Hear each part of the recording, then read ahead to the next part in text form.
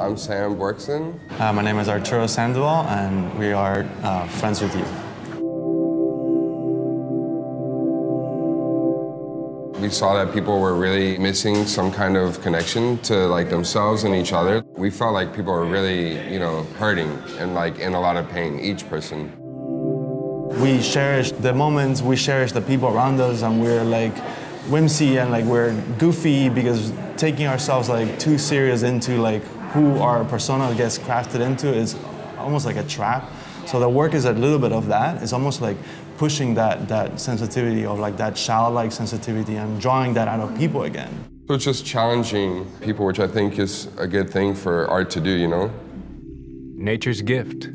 Humans, Friends, and the Unknown. On view now through January 21st. Get tickets at museumca.org.